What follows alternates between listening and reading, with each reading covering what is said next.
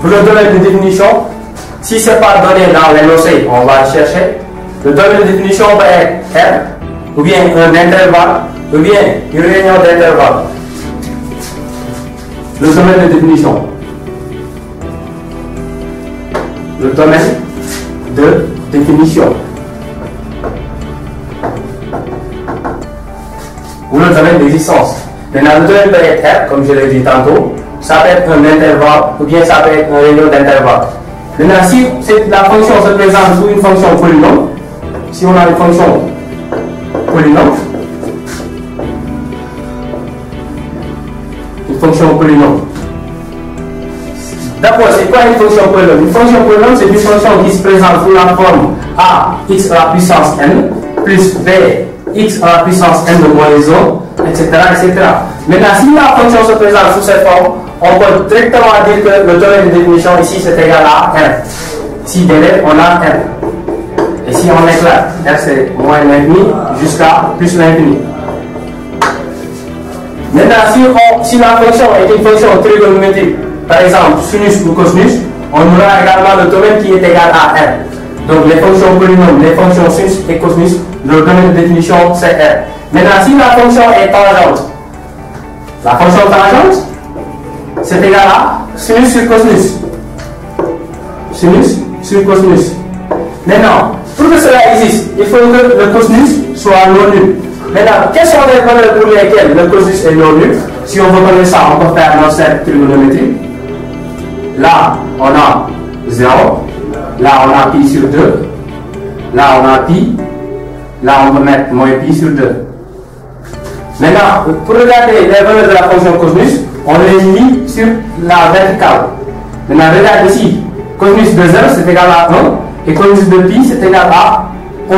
C'est égal à moins 1. Maintenant, si on fait dans le x vers pi sur 2, on voit que ici le cosinus est nul. De même qu'à moins pi sur 2. Donc, ce qui nous donne le domaine de tangente qui est égal à le df de tangente, je mettrai tangente ici pour spécifier que c'est tangente qu'on étudie le domaine, c'est égal à moins pi sur 2 plus 4 de pi. Pourquoi? Parce que les fonctions cosinus et sinus sont périodiques de période de pi. On verra ça quand on fera la périodicité jusqu'à pi sur 2 plus 4 de pi. Ça, c'est le domaine de définition des fonctions tangentes. Maintenant, pour la fonction inverse, la fonction inverse se présente sous la forme 1 sur x. Là, son domaine, c'est égal à 0 jusqu'à plus l'infini. On peut faire, on peut commencer par l'autre partie. C'est moins l'infini jusqu'à 0. Union, 0 jusqu'à plus l'infini. Parce que le dénominateur doit être non nul. Donc on, on enlève le 0, c'est r de 0. Maintenant, r privé de 0, si on l'éclate, on obtient ça. Maintenant, si la fonction est rationnelle, les fonctions rationnelles ce sont des fonctions qui ont une partie en haut, c'est-à-dire vers x en haut, sur u de x. Maintenant, pour que cette fonction existe, il faut que le u de x soit non nul. Donc, de manière générale, pour toutes les fonctions rationnelles, pour qu'il existe, il faut que euh, les valeurs de x qui sont dans le dénominateur soient non nulles.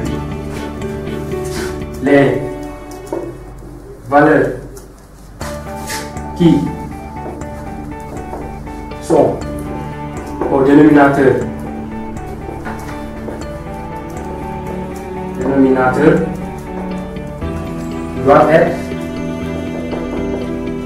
doivent être nulles.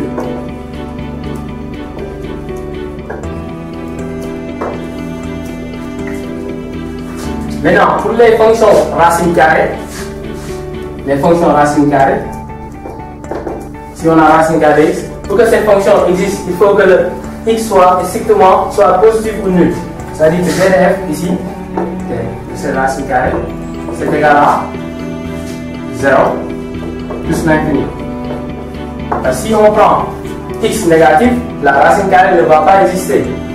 Maintenant, si c'est la racine carrée d'une fonction u de x, pour que cela existe, il faut que le u de x. Soit positif ou nul également.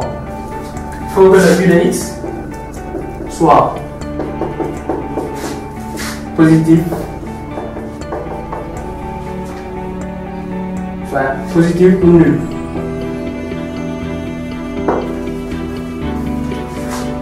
Maintenant, pour les fonctions logarithmes, les fonctions ln de x, pour que ça existe également, il faut que le, i, x qui est ici soit strictement positif. Il faut que x soit strictement positif. C'est-à-dire que le domaine serait ici 0 jusqu'à plus l'infini. La différence entre les fonctions racine carrée, ici on a strictement positif, alors qu'ici c'est au sens large, ça être nul. Maintenant, le x qui est là peut être sous une forme d'une fonction u de x. Par exemple, si on a ln de u de x, pour que cela existe, il faut que le u de x également soit strictement positif. Pour les fonctions exponentielles, enfin, les fonctions exponentielles, ce sont des fonctions qui sont définies sur R. Les fonctions exponentielles sont des fonctions qui sont définies sur R. C'est-à-dire de 0, de moins l'infini jusqu'à plus l'infini. Maintenant, ces contraintes, toutes ces contraintes-là peuvent exister dans, même, dans la même fonction. Maintenant, si ces contraintes existent dans la même fonction en même temps, il faut que toutes ces contraintes, il faut que toutes ces contraintes soient vérifiées simultanément. C'est-à-dire que ça peut nous pousser à résoudre des équations ou bien à résoudre des inéquations. Mais ce qui est important, c'est de réunir tous les domaines de définition, de faire l'intersection de toutes ces domaines de définition pour avoir un même domaine de la fonction.